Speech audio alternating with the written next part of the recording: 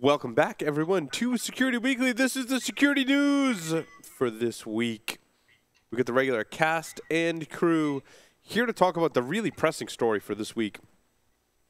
It was interesting. I um, I actually uh, I've been really busy this week uh, with a lot We of things. all have. Yeah, everyone's busy, right? But like, you know, like some weeks you get busy, and especially this time of year, a lot of my free time goes to like Christmas shopping. Believe it or not, right? Like, I mean, Uh, yeah, and the I have- holidays I are. have not ordered a single gift that has not come from Amazon this year. Yes, me too. Everybody on the gift list isn't getting a hack naked t-shirt. I bought so many presents for myself on the lightning deals. I mean, I bought some presents for other people, but what I figured out was because I'm a, a nerd, right? I'm like, all the things that they're recommending in their like deals are based on my order history in mm-hmm. Amazon. So what you end up doing is you find some gifts for other people, but a lot of gifts for yourself. Dude, I got awesome. I, I, those that know me, like, I'm a snob with a lot of things, like with liquor, beer, coffee, There's no cigars. way. I'm a snob, right? You like the finer things in life. Dude, I got an awesome deal on a, a coffee maker. I got two hundred dollars off a coffee maker that has never, never gone on sale. I bought Uh, it for but the wait. Paul, is it a good coffee maker? If you're a snob, Oh, it is this coffee maker's got to be awesome. like dude. This coffee maker came on the market for like nine hundred dollars. You couldn't get it for below six, and I got it for four hundred dollars. And I, I Oh, was okay. like, now, now Will you're it- in the. Will still- it be in the studio? Or no, at your it's at home. It's at home. It's at home. I have nice coffee stuff here in the Couldn't studio have ordered already. Two? I had well, the thing was, I had a, a K cup uh, at home, so I never drank coffee at home because I don't like to drink plastic. So that's you know, it's a snob in me. Okay, so now I have the really we nice. talking Swiss here, Paul, without mentioning brands? Are we talking Swiss? Uh, it's a uh, uh, a Krups. Okay. It's the Krups. Ah, nah, nah, lost all respect. Oh, wow. Sorry. no, it's a yeah, Krupp, not a K cup. done. It, no, it's a it's a Krups. It makes real coffee, dude. It's it's Nah, legit. nah, nah. So we talk Nah, about the same sorry. thing about being a snob, and I really don't even use them that much. But I found this one the other day. Yeah. And they're all custom uh, card decks. Yeah. Like this one came from. Uh, they came from uh, uh, Boing Boing, but like looking at some of the stuff, it's like look at the box, That's really cool. and the cards are just Yeah, we get we get distracted buying gifts for people. In any and, um, case, and uh, and th- there's also this one that uh, Mike Mike Poor ordered, and it's got, called Contraband. Mm-hmm. I mean, look at the artwork on this that's really cool. and the cards. Hey, guys. Yes. Guys? Oh, sorry, Oh, we're doing a oh, Oh, security yeah, show. gotta do security So what, what I was saying was, Wow. What so is the story of the week? today I got I was reading up on the uh, creator of Bitcoin, and I never knew that this was like an issue. Yeah. I, I, I don't know. I'm not. Did you do you Sato- follow Sato- Bitcoin I- close a more closely? Not closely, but enough. enough. So what's the Japanese Satoshi? Satoshi? Yep. What the full? Sato- you know- Satoshi Nakamura. I yeah, think. Satoshi Nakamura, Uh, right? uh, the, the name, all the last name always for, Yeah. goes away, but it's Satoshi. it was like this Japanese, guy- Japanese name. Yep. Japanese name, presumably male guy that created Bitcoin. Now, you would presume that whoever created the Bitcoin currency, like if I created the Bitcoin currency, I would put some aside for myself. Right. You know, I would And- and- i- and- invest in my own project, Yeah, so to n- speak. Now, with, and- now with Bitcoin, you can't put some aside. You actually have to Create it. perform the mathematical operations to, mine it. because it's it's like a file. Right, and Yeah. and, and the what this would be with uh, A the, digital the, the- file. The, the cryptocurrency is um, pre-mining. So let's say we're going to call create the Security Weekly coin. Yeah. What you do is you create the Security Weekly blockchain, Mm-hmm. and then we mine it for a couple weeks, and we get the easiest coins out of the way, and we keep those, and then we release it to the general public. Right. So that's essentially what happened with Bitcoin. With Bitcoin. Bitcoin, and there was this Satoshi figure. Nakamura.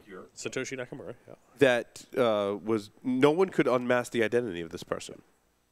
Until now. It came to my Maybe, it came it came to my attention this week, and I was somewhat shocked to hear it because it was it was really the the funny part for me when I when we read this all of us read this story Uh-huh. was when they released the person the press was saying well it's this Unknown. unknown person, this generally unknown person. No one has ever heard of this person before in their entire lives. And this is the person that they believe to have created Bitcoin. And they're like, it's Craig Wright. And Craig S. Wright. Larry, myself, John, and a, a lot of other people in the community are like, hold on, wait, I've had drinks with Craig, right? Like I know Yeah, I know Craig, Wright. Craig What, Wright. what do you mean Nah, he's it- unknown? it- like we know Craig right? Like, he's a Like- person like- that like we that know. Dude, like that dude has two PhDs and like a dozen master's degrees Right. and has every SANS certification known Now- to man. It- super no, no, smart, wait a super minute. smart. It- Worse it- than that, his resume Australia, says where his God resume. lives.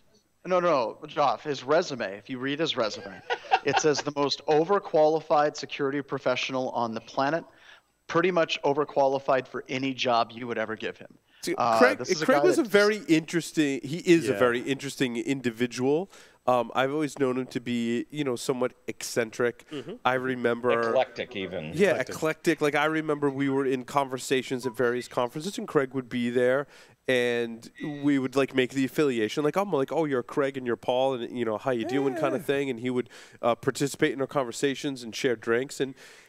Not, he was a nice guy. I always re- recognized Craig as a nice guy. Always Yep. there at certain. Maybe you know, maybe a little weird, just because. yeah, a little, little eccentric. But but like, in, it the, didn't in that crowd, it was Within always this community? Yeah, Yeah, What does but within look that, like? cra- Exactly. but within that Yeah, crowd, what is- it's what not. is- it's not what is outside the weird norm. So he was Yeah, so in other words he was completely normal. Does he he was wear a com- he wears a exactly. suit and No, he was completely normal person in the the community. the social anxiety A disorder completely type normal Of thing. Australian genius. Yeah, exactly. You could tell Craig was very smart, you picked up on that right away when you talked to Craig. Like he was really, really smart, and then. You know, knowing that he has two PhDs, it wouldn't surprise you. If you knew Craig, you'd be like, "Yeah, okay, he had two PhDs. Like that, that doesn't surprise me," uh, kind of thing. How many PhDs did Einstein have? None. None, I would guess. I'd Yeah, but did he run over a Smite. koala Go in on. a Yeah, yeah. 1600? Go That's on. what I But- want. Yeah, but, I mean, you know when you and talk we to saw- and we saw that- from one of the articles that uh, Craig Wright was claiming at one point that he was receiving a higher education degree at the rate of once a, one a month. That doesn't surprise me. He was an academic type type person. I, I and I got that, That- from that's awesome. from from talking with Craig. Wait a minute. I, I got a question though. I might be missing some things. I know I'm late to the party. Why were they going through his house? So uh, why did the police go to his house? Good question, John. Ah, good question. So, yeah. so great. And it wasn't the police, it was the Australian tax office. And the Australian tax office was going through his house looking for evidence of, I- I'm not exactly sure what. Um, but Craig Wright has been working with the Australian tax office to redefine how you declare bitcoins as assets. Now, Joff, being uh, an Australian, uh, I know you understand a little bit more about this, but my understanding in Australia that your your assets, as in your tangible assets, are taxed at a different rate than if you were to be sitting on a pile of currency. Uh, that is correct, as I understand it as well. But Uh, bear in mind, I left the country pretty right. early. well, on. here's and, the- and, the, and the deal have was any is that. Craig You're Australian. You're the expert. Yeah. So the We- the deal was that you. my understanding is that the he was working with the Australian tax office to say, look, I have this Bitcoin. It should not be taxed at the higher rate of being a fixed asset. It should be taxed as a currency because it's classified as a digital cryptocurrency. So you should be taxing me on possession of this currency at a significantly lower rate. It's taxing them as if I owned any other kind of invested in Right. any other kind so, of currency. So like like Yeah, here, yeah. if it would be taxing me so as bear if in- bear uh, in I mind that invented the- in real estate Mm-hmm. versus I'm sitting on a million dollars in one dollar bills. right. Yeah, yeah. Bear in mind that, that unlike the United States, the uh, the highest Australian tax bracket I think sits at forty five cents on the dollar right now. The lowest Australian tax rate is nineteen cents on the dollar. So overall, um, if you disclude uh, state and local taxes, uh, the federal tax rates in Australia are higher. Australia is by um, by design only a, a federal tax But now base. let's Everything else is Shut- sales. The tax. hold long on, and the let's- short of it is they want to find the guy so they can. let's tax put this him. in perspective, Jeff. All right. Th- Craig Wright conceivably is walking around. Can in he pay his tax bill with Bitcoin? I'm is what I wanna speculating here. I'm speculating Yeah, here. it's in here. the article. Okay. I'm speculating he has a thumb drive in his pocket that is worth worth roughly One more, point one Bitcoin, one point one billion Bitcoins, 1.1 billion bitcoins, which is what 500 million dollars, depending on the di- depending the on. He's walking around with 500 million dollars. Just think about that for a second. When you are walking around with a, a few thousand dollars, ten thousand dollars, twenty thousand dollars, Now- kind of yeah. nervous. Now- Yes, you have yesterday. you have five hundred million dollars, and now one could speculate that That's a whole new threat model, right? hopefully he has a backup of it somewhere, hidden in the on the internet, right in the cloud somewhere. I would I would hide that somewhere, right? But it's essentially With it's a money. cloud provider that's been pen tested. Yeah, it's currency, Black dude. But it's currency. in Mm-hmm. Guardians. Now, also keep in mind, the reason I'm concerned for Craig because I, I know Craig. I've always known him as a nice a nice guy. Um, if you are an internet uh, a criminal that deals in Bitcoin, some kind of dare I say, everybody drink cyber criminal. If you're a cyber criminal Cyber. uh, or a criminal of any kind, you may have an investment in Bitcoin. Let's say you have ten to fifty million dollars in Bitcoin. Craig sells his Bitcoin, presumably if he is the person that created it, and presumably if he does have the equivalent of 500 million US dollars in Bitcoin, if he sells it, that could negatively affect the value of Bitcoin. Yep. It means if I'm a Mexican drug lord with $50 million, you just cost me $40 million. That puts a target on you probably larger than any other target out there, right? Because if you die before you cash in your 500 million, you just saved me 40 million dollars. So the uh, incentive for criminals to go after Craig is pretty high. So you can't convey Bitcoin in a last will and testament to your survivors or to Ah, your good question. So, but It's a now- whole now new here- world. Here's down to it. here's the whole thing about this this uncovering of some of this stuff. There was another gentleman involved allegedly in the creation of Bitcoin, uh, Dan Kleinman. Yep. Uh, and I, it's Kleinman, Kleinman, and I can't remember the the exact pronunciation. Uh, David, I'm sorry, uh, Dave, uh, who passed away in 2013, and there was a trust that was created between Dave and Satoshi and He used the uh, alias. Craig Yeah. uh, allegedly between the three of them, or something of the, this variety, in which this 1.1 billion bitcoins were held in trust, and um, that they would not be released from the trust until 2020. I.e., these things were locked up, and the security of the Bitcoin market was held until 2020, unless one of the parties was to expire. Which David did. Did Did. Expired Dave in did 2013. 2013, Yeah. and then 15 months after the death of one of the parties, the Bitcoin would revert to Craig after 15 months. I, uh, I so so yeah, like I said, late to the party on this. Uh, like Paul, I know I know Craig, and uh, I've known him for a long time. And a couple of things about Craig. One, um, you know, as Paul said, he's an extremely nice guy. The dude likes to talk about himself, and he likes to talk about what he does. He likes to it- talk, and he likes to talk about himself, But, John. but yes. I'm gonna say, I'm gonna say he, he can back it up. yeah, Uh, absolutely. He's know, very the- smart. The dude very has smart. chops. Yeah. The dude has chops. Um, the other thing I, I would, you know, the last thing I would say on this is I, I know that Craig listens to the show. He listens to it very regularly.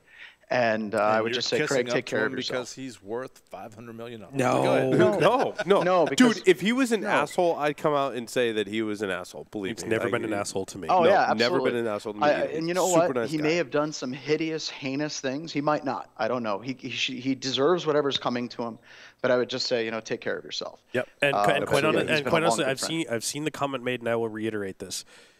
I- If Craig and or including uh, Dave created Bitcoin, and either one or both or whichever are Satoshi, dude, dude you, you deserve the 1.1 million billion bitcoins. Absolutely. Well, they they talked about uh, releasing a paper on a currency, uh, a cryptocurrency. Sa- Sato- crypto uh, Satoshi released the paper. released the paper, but there was ties to that paper to Craig and and David. But it, and it's a it's a difficult problem to solve. And and one of the things that I think Craig was known to be very passionate about was creating that anonymous cryptocurrency. Right? He had a lot of like strong feelings about that, uh, which was Yep. like further the article kind of points that was like further ties that he is Satoshi kind of thing, which is purely speculative. I mean, if It- you it- read the it is. Wired article, you kind of go back and forth. It's, Like circ- it's circumstantial evidence at best. the Wired article in typical Wired fashion, right? Because I have issues with the way Wired does journalism. Let's. Yep. just throw that out there. But they Oh, yeah. presented like all this evidence about that directly links Craig to uh, being the Satoshi. creator of Bitcoin Yep. and being Satoshi. Then they present a whole bunch of evidence about how he may not be, and this could be an elaborate hoax that he's trying to claim credit for it. And you can take away a lot of things from that. One, the way that Wired does journalism is, Yep. I- I, I think, on the table uh, to me as being uh, reputable or not. I think, anyway. Uh, but the other thing too is like, why why would he do that, right? Like, why why well, would and I could see, I could totally just knowing Craig for a long time. I could totally see Craig doing that. Like you remember, for a while we were all walking around saying, "I am net dev." We Yeah. even had shirts and hats made for God's sakes. Yeah, I Um, still I, I could still have totally a shirt that uh, I still have a hat that says I am not the I am not the real NetDev. right? Yeah. I, I don't So, think I've uh, met um, Craig. We call him Craig in Australia, right? I mean, but I don't think I've met him. I thought you guys all knew Wow. each other. yeah, But but it, you know what? To be honest, if he did make a joke like that, like just saying, "Hey, uh, I'm I'm I'm Satoshi," I could totally see someone from Wired being like, "Oh my God, this guy has multiple doctorates and a whole bunch of computer security degrees. It fits." And running with the yeah. story, and basically destroying this dude's life. Yeah. no, no, I mean, that- there's the Wired article, and I haven't read the. Uh, it wasn't Gizmodo. Gizmodo. Yep. Wired and, and Gizmodo did their own investigative journalism, and I haven't read Gizmodo's I'm article on it. I assuming read, that was in air quotes, Paul. yeah, I, I read uh, the Wired one, and they do present some pretty strong evidence that links Craig to being Satoshi. Absolutely. Yeah. The evidence is pretty strong, in my opinion. From whatever, I mean, everyone can read it like anyone else can, right? I'm just, I don't have any inside information. It's not a secret that Craig was part of the SANS community, and we're all sitting here saying yes, we knew Craig largely because of his involvement in the SANS community, and we're all sitting here saying that his contributions to the SANS community were extremely positive, and we don't have anything bad to say about the guy. So, uh, you know, take from that what you will. We're telling you what we know. We're telling you fact. We're not uh, speculating. You can go read all the articles you and draw it- your own conclusions. If you, if you think about it, I, I was thinking about this last night, and I'm thinking, you know, it it really doesn't matter who created Bitcoin. If it's Craig, then then great. But you know what? Wh- whoever it was, it's not going to change the world. I mean, Mm. Well, Yeah. in the, the but the negative press that comes for this from Craig, the the speculation right now is that the worst crime he's committed is essentially tax evasion. tax evasion. Tax evasion. That's what that's what took down uh, Al Capone. it is. what took- I mean, Al Yeah. Capone But how the committed hell- more but how the heinous, hell way more you heinous crimes than tax that? Right, evasion. right. But, But hold on, I got a question about that. Okay, let's talk about the legalities of that for a couple of seconds. The dude creates something. What was the value of it when he created Bitcoin? Zero. Zip. Zero, zip, zilch. And then, like a few years ago, it was through the freaking roof. Yeah, you know and then why? It crashed. Then it came up. So how the hell do they calculate how much he owes in taxes? Yeah, so you- whenever he whenever he created an imaginary currency, it's like me creating something like Monopoly money and saying, "Yes, I'm a billionaire in Monopoly money," and then all of a sudden the IRS showing up and they're like, "Exactly how much Monopoly money do you?" Yeah, we get a third of that. yeah, yeah. So we, Oh, John, right. John that, that may be considered in that may be Bitcoin. considered Yeah. uh, capital gains. It could Yeah, be. well, that could might- be, but in that, that case, might be he, he hasn't cashed that- them out yet. Well, but that might It's be true. where the ATO is going after him. But you know, here's here's the thing too. A um, couple of things I want to point out with my Australian knowledge is, uh, first, the Australian Tax Office uh, historically, I don't think is anywhere near as uh, aggressive as our our lovely IRS in the states. now wait, Um, does the and- Australian tax office do they carry firearms? Uh, I They Don't do the actually. If you go to to the that. picture, uh, the twit pic. No, Yeah. they uh, carry Yeah, they're, knives. they're yeah they you got call that they a got knife? guns They're in I- this is a knife. IRS That- agents in the U.S. no, are wait, wait, wait. armed. Yes, that, that the second firearms. thing I want to repeat, firearms. which is which might be to my detriment, there has been an urban myth in Australia for a long time, and uh, I might be misstating this, or it could be some story my dad told me when I was young, but of a, a gentleman in Australia who uh, never paid his taxes and used to send him a bottle of champagne every year, and they never caught him. So, um, you know, I, I, I don't know that. Um, I, I don't know what the legalities are and what the Maybe ATO Craig is should have just right sent now. the ATO a bottle of champagne. Yeah, just sent him a bottle of champagne every year, and he would have been good, and we never would have had Yeah, this. exactly. I think it was just you might have mishandled the uh, the um, uh, what am I what am I looking for here? The the the social etiquette of the situation. It, it's it's a fascinating story. Um, more so for us because we know the person involved, um, or potentially involved. What we think is the person Allegedly allegedly involved. Thank you, Jeff. You know what? Shit. Why don't I, Why don't we just shoot him an email and try to get him on the show? Why don't you get him on the show? That would be fantastic. He could reveal right here on Security Weekly. Yeah, I, and you know what? I. I thought I thought about that, but He's um, never been on the show, which I mean, he very well could have been on the show, and, and it wasn't like we set out to not have him on the show. We very well could have had him on the show. We just we hadn't. Yep. Now, now the thing is that I, I suspect now for you to do that, we'd probably have a very difficult time Yeah, getting I'm, a hold I'm of sure. him. I'm sure. Um, I he's don't know. del- You he- might be surprised. He's deleted his Twitter account. That's it then. Yep. No, seriously. I mean, Oh, I think we're that's a it. hard He's time. out of touch now. My God, no tweeters. well, it's, I think he I think he wants to be uh, at this point. If this is the case with these two articles, he wants to be left the hell alone. I'd love to have him on the show and talk about just So if no, you're nothing. listening, I, I'd, if you're I'd, listening, I'd, I'd love to have him on the show and talk hey, about we would have loved to have the person that that created Bitcoin on the show. We would have totally done that. whoever The you problem are. is before we didn't know who that was. Now it's speculative that Craig Yep. is that person and Yep. someone we know. And you know what? I think we'd love to have Craig on the show, even if we didn't mention a word about Satoshi. Yeah, that's It'd right. be impossible Craig, to if do you're that, but- listening, I think, I think we call could do it. Or send John or Paul an email if you know their email addresses, because I'm pretty sure you don't know mine. And uh, yeah, let's have you on the show. That would be great. Well, I will conclude this discussion with I hope Craig is safe because, Yeah. like I said, someone we know and respect uh, in the community thus far, based on what, what we know up to this point. Yep. So Yep. And, and you know what? I wouldn't be surprised if it was him, and I wouldn't be surprised if he had help from Dave. And yeah, I um, wouldn't be. surprised. Uh, and he fits the profile of someone being smart enough to absolutely. to do this, and it, it Yep, and, and the two of them together to put it together, and Yeah. you know what? I, I think that's great. Now the one the one thing that really concerns me, uh, and there's been today the uh, the stuff that came out was that um, uh, Craig Wright was getting doxxed about being Satoshi, that someone was leaking to the media. Someone did leak to the media. Someone in the leaked- Wired article, they said they had leaked documents. Someone leaked to the media, and the question but they were saying is, well, did he leak it himself? That, that's the question today. yes. Did he leak it himself? And I would argue that you know, John, based on his resume, that you've said that he said, uh, you know, I'm overqualified for any position you give to me. If he was that good of a security guy, how did he get hacked?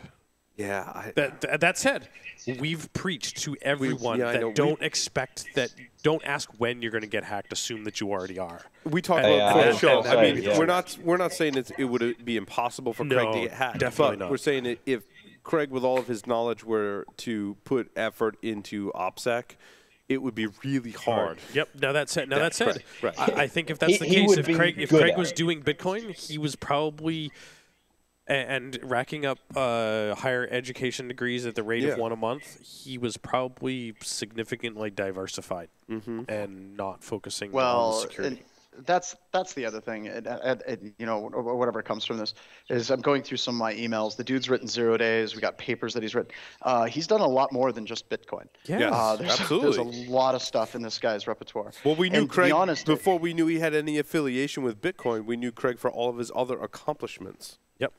Yep. Yeah, absolutely. And and I think that that's also interesting, and that might be one of those things that might piss him off, is that you know he was associated with Bitcoin a long ass time ago, and has done a whole bunch of things, and his whole entire life is now being reduced to this one thing. Yeah, yeah, Um, yeah. That would kind of suck if you're somebody like Craig. All of your research, everything else you've done, is overshadowed. by and, that. and that was some of the things that they from the leak stuff that they were saying that hey uh, you know Craig or, or Craig allegedly said that uh, Satoshi has gotten all of this press about this one paper about quote Bitcoin that he wrote, which has gotten way more press than anything that um, he's done, he's uh, done. And yeah. you know what? Quite honestly, I've read all of Craig's papers, SANS related. Mm-hmm. Yeah, yeah, yeah. And, and you know what? I couldn't even begin to tell you what the paper that Satoshi read about. So, yeah, Yeah, it's, it, it's it a will take it, take that at face value. So there's Um, an extreme to that. Yeah. A couple of other interesting stories uh, this Yeah. I need to get going, guys. I'll talk to you all later. Take Have care, John. Thank you very week. much. John. Bye. Have a good See you, night. John. Bye, John. Uh, toys being used as spying devices. Yeah, That was a really underwhelming article that I linked to in the show notes. I didn't. to I didn't see this one, but it looked. Uh, we talked about it briefly with Ed, and we talked about it previously. but- it's getting a lot of press lately. Yep, and, and, toys. and to that, to that, the uh, the VTech breach. yes, Um, it turns out that they got passwords. They grabbed all of the password hashes, Mm-hmm. and uh, that it was claimed that oh my God, VTech is not storing passwords in a secure method. Yeah, they're, they're MD5 hashing all of their passwords, which agreed is not a very secure method. Ah, no. But it wasn't like they were plain text. there was another site that uh, leaked uh, children's information that were registering for an online service as well. Uh, uh, the child I don't know if this necessarily uh, s- speak- the, the violation of the Child Online Protection Act, COPA. Yeah, I mean, it, I don't know if it speaks to a trend, but certainly as technology creeps into things like toys, as it creeps into things like coffee makers or whatever, Um, and all these Internet of Things, it's conceivable that there's going to be security issues, and now they come to the forefront Yep. Because people who Yep. did bad things before without technology are now using technology to do them, and now you can do things like Yep. spy on kids Ja- and things like that. Yeah, Josh had a Well, great. it's also this this um, ahead, amazing accumulation of baggage, right? Um, uh, the um, I mean, just think about how many old searches you do um, once in a while about yourself, and you find an article from you know 1995 or something. Um, imagine what it's going to be like for our kids. Yeah. Uh, you know, in in like uh, 2030, you know, the accumulation of internet baggage essentially is going to be horrendous. yep. Um, Exactly. the, the, you know what's out there. Yeah, and that these Internet of Toy things become really interesting. I, I spoke at our local ISACA chapter today, and I followed up Josh, and Josh did his uh, "How I Ruled the Word," I mean world, I iOS saw- game hacking. I haven't seen his talk, Which but I read the description, and I really wanted to have him on the show to talk Uh, about it's it. it's awesome. It's awesome. He talks about We've been so close to having Josh on the show. He's really Yeah. busy lately. He- yeah, he's d- uh, he talks about three different methods in which he does iOS game hacking, and one of the things is that he talks a little bit about the Internet of Toys Mm-hmm. type of thing. In that there's now with our kids, there's becoming a very distinct line between shit. I'm too old for a rattle, but I'm not quite old enough for an iPad. Yep. What's the in between? It's like Hello Barbie. Mm-hmm. That I've got that internet sort of connected device that talks to me and guides me, and to to me, it's it's very much uh, Neal Stephenson Diamond Age. Oh yeah, yeah. Like, I haven't read that yet. oh, go! You should by like, the way, read if- that now. Like, it is so if you applicable don't- now. Is it probably is it old? It's probably old. No, it's I'm not. behind the curve. No, I'm not it's really- not. I it's love not Neal Stephenson, old. but it's not that old. he's, Neal um, Stephenson writes some awesome stuff. I- What was I'm his impressed. uh, breakout thing with the Uh, um, pizza delivery guy? uh, right? cre- so he did Cryptonomicon, Cryptonomicon. as well Snow as Crash. Snow Crash. Snow Crash was the one Snow I'm thinking Crash. of. Yes. Yeah. Yes. yeah, very talented author. Yep. But- Someone well- sent us well feedback researched. lately. They said that we should create a list of sci-fi technology-related books that we've read because over the years we've Ooh, recommended. we could some- have a Security Weekly book club. That would be cool. There you go. we could. You know, we totally that's could. You know, not it's a not bad a bad idea. Uh, it's totally true though. All right, you heard it here live on Security Weekly from Joff. Joff, Security I know Book you were poking around in my story about a DDoS attack on the root name servers. I haven't been able to dig into this one uh, very deeply. Um, I don't know if you know any more than I do. I, I really don't, but but it, it's a it's kind of a fruitless attempt. I don't know whether it, it got any traction, um, because not not not a lot of people know that while there are only 13 named addresses that come back in a root name server query because of the 512 bytes limitation of the UDP packet. yeah. um, root name servers are actually um, uh, massive anycast routes in the net.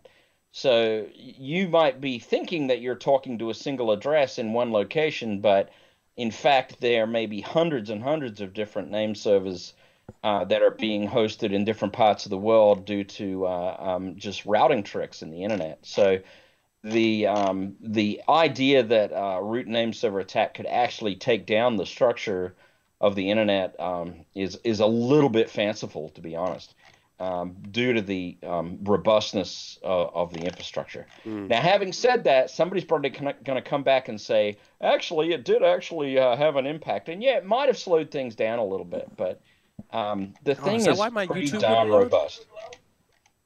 Go ahead. Is that my why my YouTube wouldn't load the other day? Could be. Yeah. Is that my lube tube? My lube tube, yeah, my lube tube. It's probably because you had Loft on, you know, on That's Security true. Weekly talking about how fragile the, The internet is. really is. Could be. Well, according to some to go out and presidential, to according to some presidential candidates, we should just close the internet. Right, right. And then Jeff Moss finds the internet on off button on an airplane. I mean, he found where they've been hiding it. Well, Yeah, there's, I- there is some other stories there that talk. Um, I was looking at um, uh, the Hacker News that that speak to the FBI's opinion on uh, uh, getting rid of encryption, essentially, which um, just offends the hell out of me. But um, Look, I, I find it interesting and somewhat scary that uh, others haven't learned what I think a lot of us have learned a long time ago is that you just can't say no. That we have to function as a society. We have to function with technology and be secure at the same time. And I'm not saying that's easy, but saying things like "let's close the internet," "let's not use encryption," uh, that's not not all not good things. All not good It's not things. feasible. I mean, strong strong encryption is in, incredibly valuable for securing commercial transactions, and absolutely 100% necessary. So it's it's uh, you know note to everybody out there, it's used for good things. You know, uh, it's not just used for bad things. And like anything, there's there's two sides to a story. But how do you how do you distinguish between the two, and, and is there a way to? Well, that's our job, Promote right? If we're doing our good jobs as security professionals, we should be able to guide people on how to do that. Yeah. The good or the bad? Both. Both. Okay.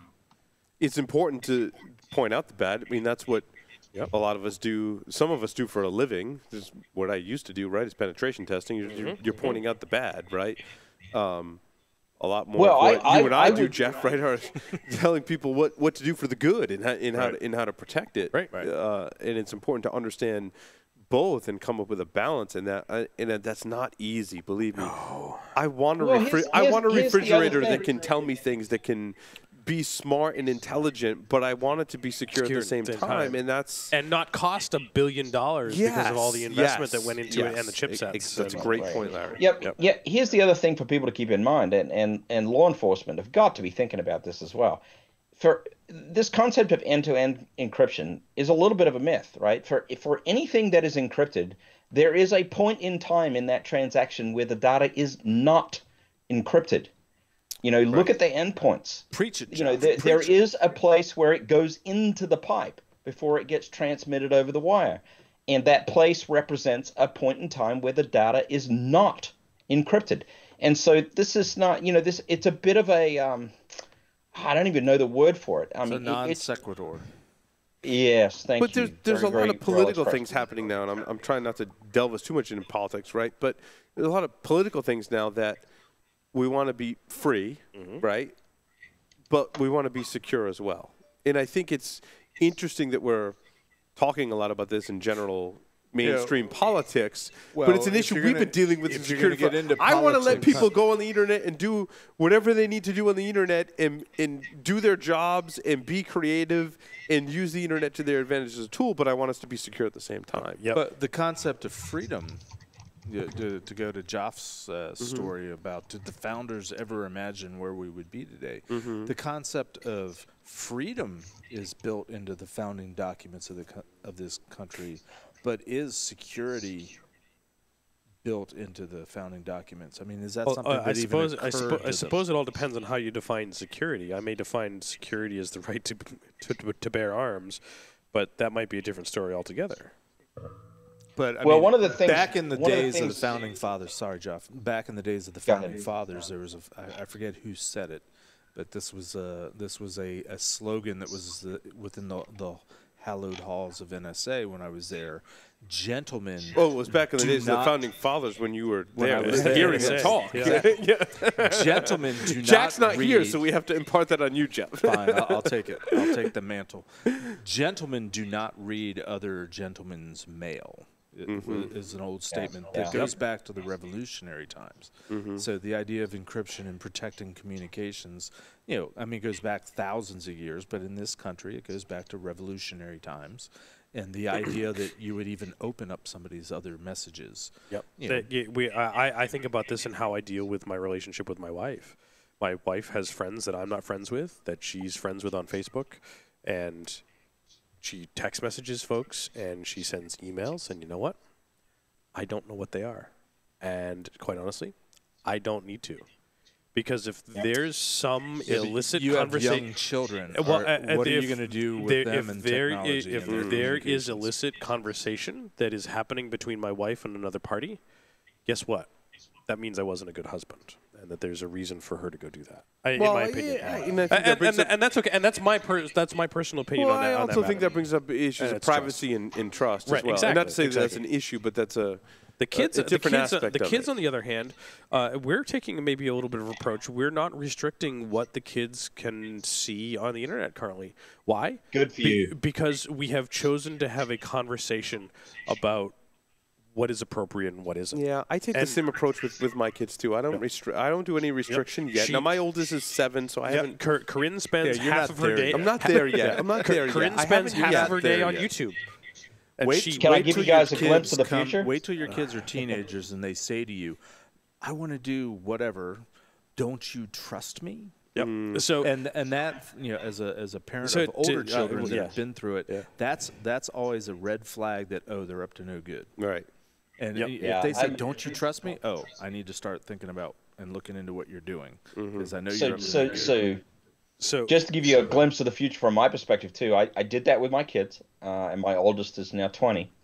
Um, and when I said I did that with my kids, I, I took the same approach as you guys took. I, I said, look, um, there are bad things out there, but I am not going to restrict it technologically in any particular way. Um, have fun. If anything concerns you, come talk to me. Um, and you know, we we took that approach, and it's worked very well. But we did have to have several in-depth discussions along the way. Yep. Um, uh, certainly in the teen years, So- uh, when they discovered some more interesting facets. So we, of uh. Cor- Corinne had her first ukulele lesson last night, and um, the instructor asked her, "Great, you now know four chords. We can start putting songs together." you can be You a can rock play star. rock. Yeah, I, and I said could she knows. country She knows one. I, so I was sitting there so I can learn a little bit to help her practice, and I said uh, she knows one more chord than the Beatles did, type of thing. He's like, "You- "You're Have right." you ever seen And- the YouTube video where there's the band that says with any Yeah, three or yes, four yeah. chords you can play any, any, any of number songs, one yeah. any number one So- song that's and ever in been fact, in and in existence? fact, it's all the same song. Yeah. So I, sh- I said, she said, he said to Corinne, uh, "So what song do you want to learn?" And she went and got her iPad and brought Mm-hmm. out some videos. And I said, "I want her to learn. I'd love her to learn this." And I said, "Corinne, this has some bad words in it. I do not want you to repeat anything you hear here." Mm-hmm. And this is the song. Oh, damn it! Just go the go the fuck to sleep. I got it. I got it. Gnome, gnome.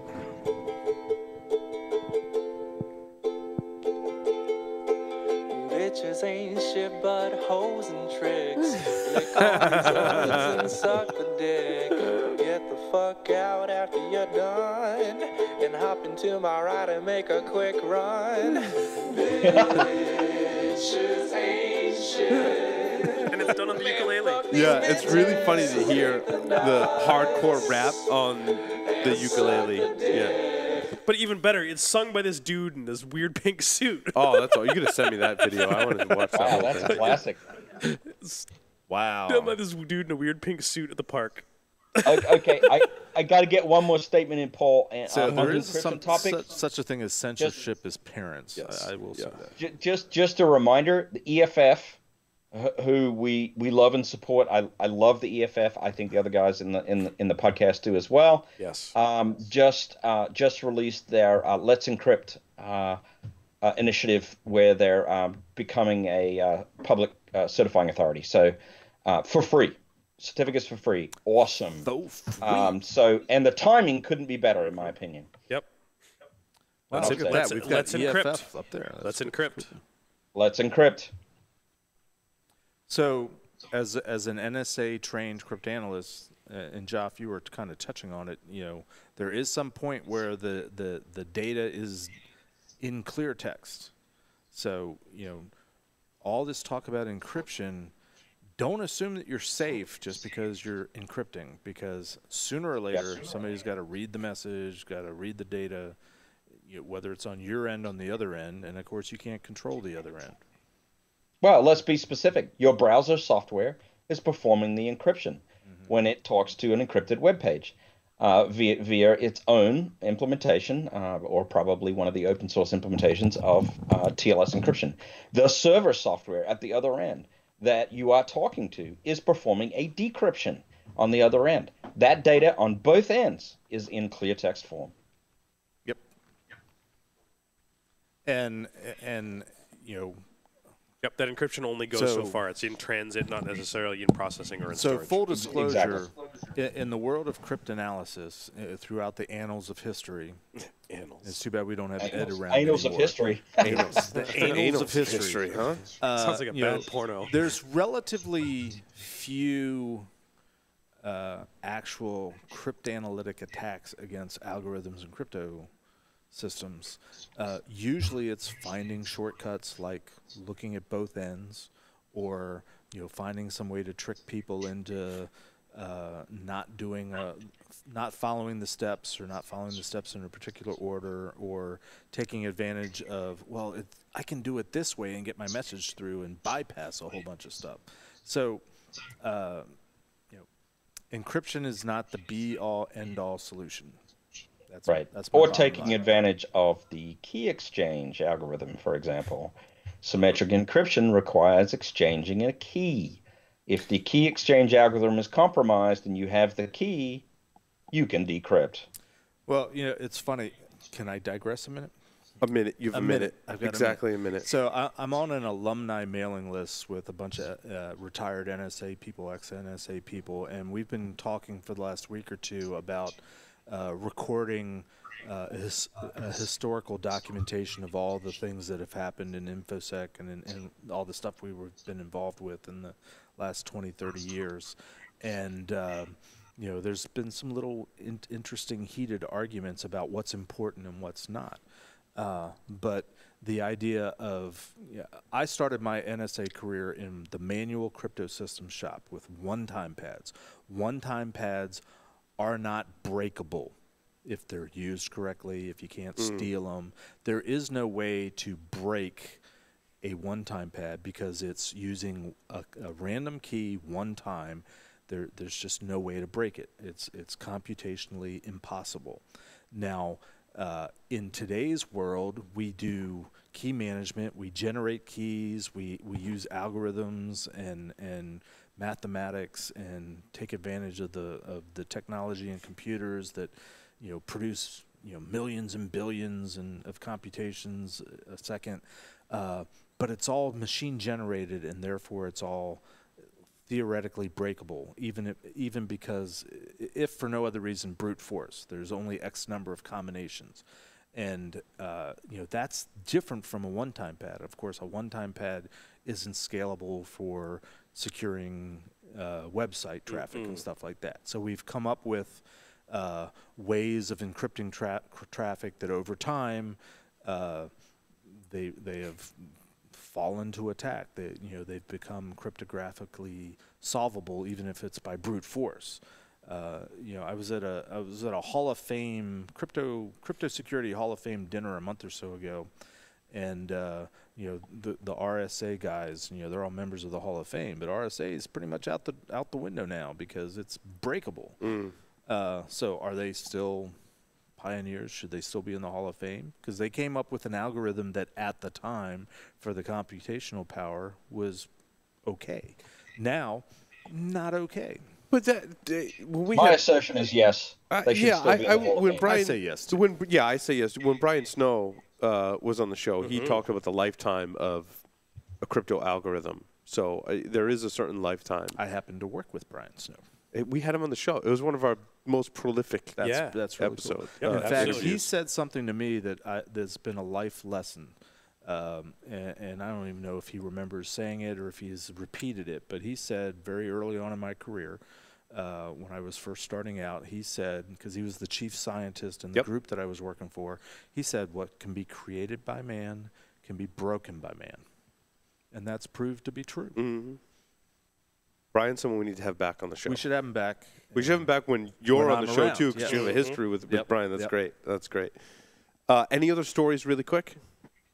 Could we bring up my uh, story real quick? Yes, please do. So, you know, again into the PCI world, there was a a court ruling or a, a, a, a federal trade commission ruling on a, breach case with mm-hmm. Wyndham Hotels, and what's and you know when a when a when a merchant is breached, FTC gets involved. Like I, w- I was the QSA for the TJX companies for many years, TJ Maxx, Home Goods. They were breached in the mid 2000s, and they're under this 20 year uh, scrutiny of FTC. But FTC, in their ruling today, they cited PCI as a standard that needs to be followed. And why this is significant, or why people think it's significant, is the federal government is citing the PCI standard as something that should be followed by merchants, where in the past, most merchants and companies have said, "Well, it's kind of a voluntary thing; it's a contractual If- thing." i- yeah, if It's you want to, if you want to continue not processing cards with us, you need to do this. Right. Mm. And, and you know, so PCI, we could have a whole show on that sometime. But you know, this is significant because the FTC or not, FTC cited this, this rather have a root canal. voluntary standard is something that should be followed. Uh, And interesting. so they're they're you know the, the the belief now is that okay, this is this is opening the door. This is precedent setting to the the federal regulations coming in, and maybe not issuing a regulation, but saying no, from a federal perspective, you need to follow this I, standard. I'm actually really impressed with the latest version of PC, the PCI standard. I, Is it I, I was three? about to say I was going to double down on that respect uh,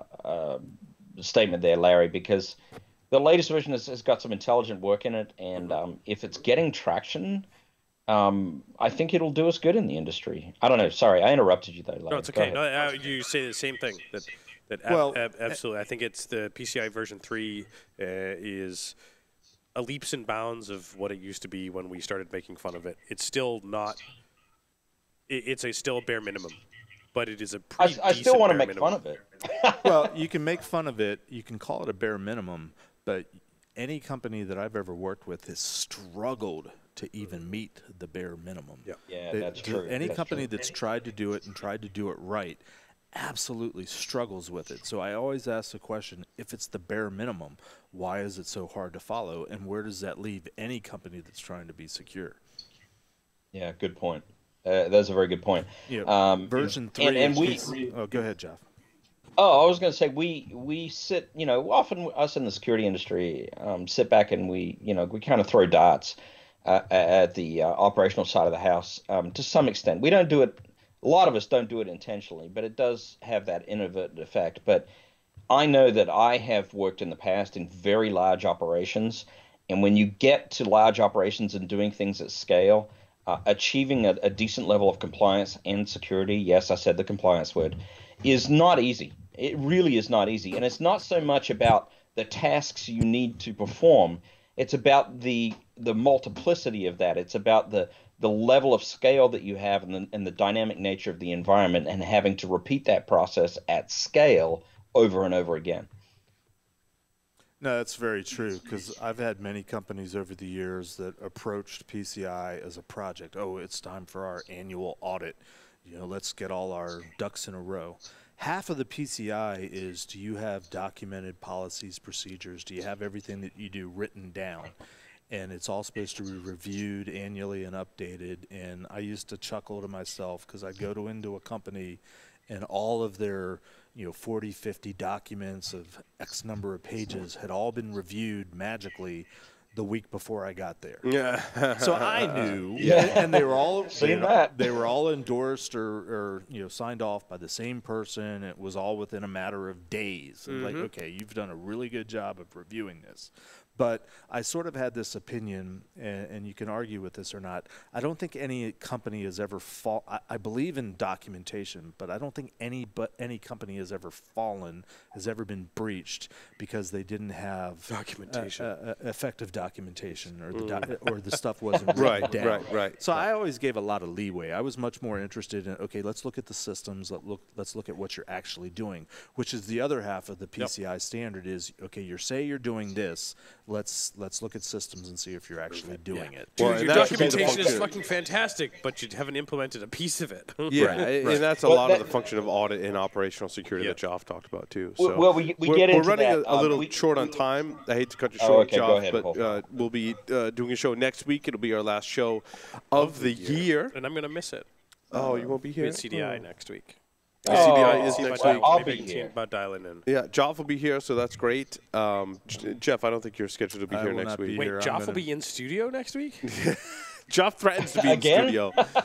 I'm going to be in Nashville getting ready for my uh, my uh, speaking engagement. Tenable is Oh, that's right. sponsoring a uh, The one Star of the Wars premieres thing. of the Yeah. Star Wars movie, and I'm giving a talk beforehand entitled "The Art of the Jedi Mind Why, Trick." d- why didn't I get invited? Oh, that's I've, awesome. I've got the Jedi costume. I got the boots today. The the the, the tunic and robe are awesome. supposed to be there by tomorrow.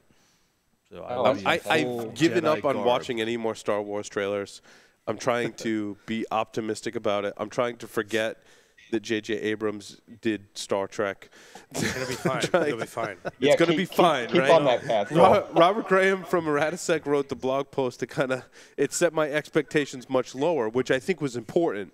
To, you, It is you know, going- squelch my expectations. It is going to be a Yeah, great so story. you will be surprised in the end. That's good. Yeah. yeah. It is going to I'm be a a Trekkie. story. There's so much more philosophy and theology in Star Trek than absolutely. Star Wars ever. I had. agree. I Star, agree. War, Star Wars. Star Wars is a more political. Pretty, pretty simple. I would call it storyline. uh, opera more not theology. opera. It's a space opera. Yeah, well, I- more so than I- it is theology and, and addressing Yeah. a lot more of the social I, I'm issues. with I'm with Jeff on this one too. I'm a I'm a Trekkie. Um, um, the the only time Trek really totally disappointed me is when we went down the uh, the Voyager path, Voyager, which was yeah. Gilligan's Island in space. Wow. See, my Um, wife loves Voyager. but, It yeah. was um, what's the one where they're on the space station and that, that they don't Deep move? Space Nine. Deep Space Oh, Nine. Nine. Deep Space Nine was an atrocity. Yeah.